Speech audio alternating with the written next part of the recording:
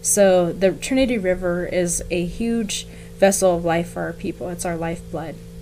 And so um, our river is our subsistence as people.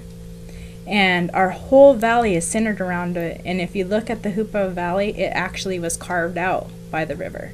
And so that's something that's really awesome about this place.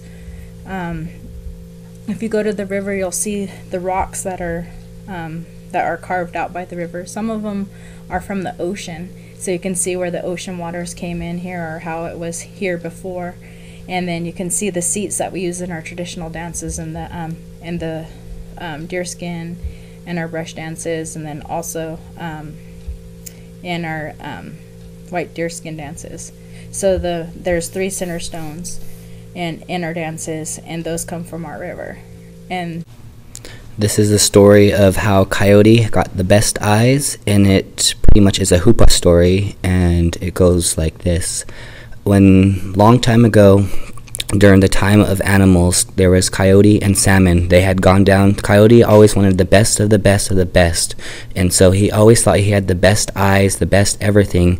And so he was talking to salmon, and salmon told him, No, I have the best eyes. That's how I can see underneath water. And coyote was really jealous, so he really wanted salmon's eyes.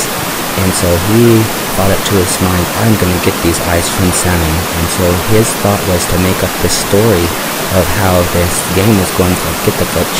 And in, in our language, that means um, it's pretty much a men's game. There is no rules for this game. It's between a little bit of lacrosse and wrestling.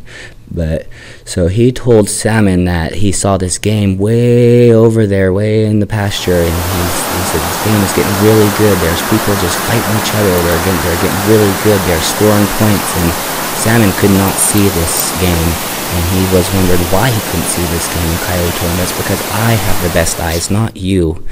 And so Salmon was like, No, I have the best eyes. And so, well, Coyote said, Well, maybe if you use my eyes, you'll be able to see them. And so Coyote was really lining it up this time. He's like, Oh my god, someone just scored. He's also, Here, use my eyes. You'll be able to see it. It's getting really good. And he basically tricked Salmon into switching him eyes. And so, as soon as he switched Salmon eyes, Salmon could not see a thing. Even underwater, it got even worse for Salmon. And Salmon was really mad. He's like, oh, why can't I see nothing? I can't even see the game. And by the time that they switched eyes, uh, Coyote was gone. And so there, you know, that's why Coyote, he says he has the best eyes now. So, oh. but, and so Salmon, you know, it was got really worse for him, and so he was bumping into everything and doing everything. And he even tried to swim off and catch coyote, and he that's why he has a hooked bill to this day because he could not see nothing. Right here is the Lewiston Dam, and this is where the fish hatchery is on the Trinity River. And really, this is why the the fish has the hooked bill because they keep slamming into that dam.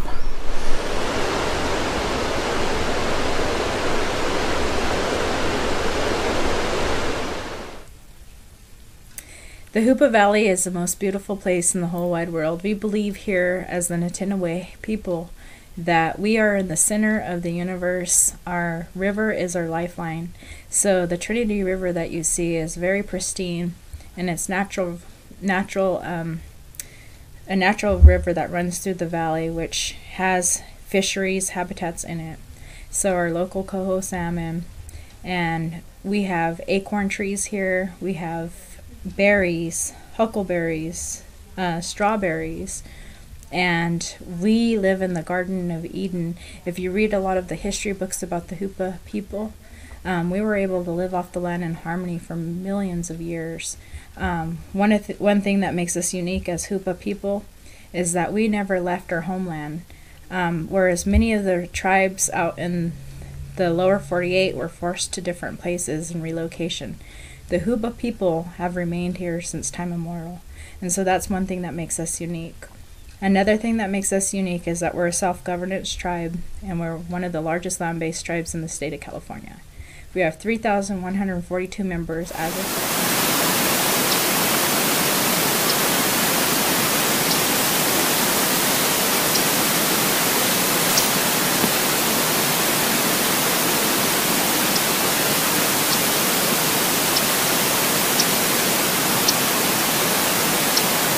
And so New Zealand came to us, and they were going through the same struggles, and they actually had to breed s- salmon again, which came from a sister tribe, which is the Mount Shasta Winnemem tribe. And they came here to the Hoopa tribe to ask us for help in their battle to save their salmon in their rivers. Mount Shasta, in our um, in our belief, as Hoopa people, we go up um, onto the summit and we pray over to Mount Shasta, and she blesses us with our life. And um, on the Trinity River, that's something that's really awesome. Three times a day, Mother Earth will tell us that she loves us and remind us who we are as people. And um, so she breath, um, her breath will come up, and you'll feel the wind in the morning time, about um, three o'clock, and then right before um, before the sun goes down. And so you always feel that wind, and that just reminds you, as people, you know, that she's still there and she still cares about us and loves us. And so, one thing awesome about the summit is when you go up the summit and you look over at the Mount Shasta in the morning time, you'll see her breath. Same thing. And so, she's reminding us who we are as people and that we're thankful to be alive and thankful to be um, Native people and thankful for all the things that we have and that we're blessed to be able to be here. And so, what we're asking as a people is it's going to take all of us um, working together as one to be able to save our tributaries and our salmon because we know that we have a fight that's going to continue on.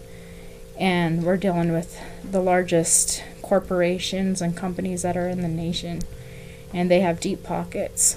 And so, what they're doing is if they're able to continue to keep us in this litigation and traveling to all these meetings and held up litigation on simple things like temporary restraining orders and injunctions on our on our fisheries and our rivers that we'll eventually run out of money and we won't be able to fight them and so we'd need help from different people to be able to have our ways and to do our to practice our culture and keep the waters running in our rivers so it's going to take all of us working together every tribe every man, every woman out there to save what we have. Because if you listen to the um, the testimonies from um, prophecies from other tribes, they say after everything is um, every tree is logged, um, we will realize that we can't eat money. And so, if you look, it's a Cheyenne Cheyenne proverb but all of the people that are not living on reservations will come back to the native people and ask us our ways, our medicines, and how um, how they're supposed to live on the lands, because they'll destroy all of our natural habitats, and then they'll have to come back to us to ask us how to how to live and um, be able to preserve and protect our lands. So that's something that's been told in prophecy through other tribes, and we believe it as people. Um, and so it's going to take all of us to work together to save our fish and to save our water and um, to save this this precious beautiful place that we have and we live in that we call home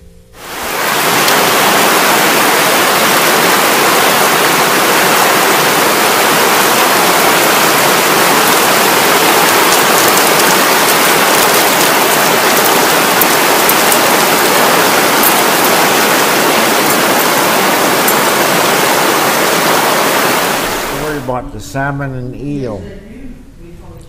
And they said they were going to gamble. So the the salmon said, I'm going to win your bones, Mr. Eel. So they gambled and and the salmon won all his bones. So so to, to this day, the salmon's got all the bones, and the eel doesn't have any bones.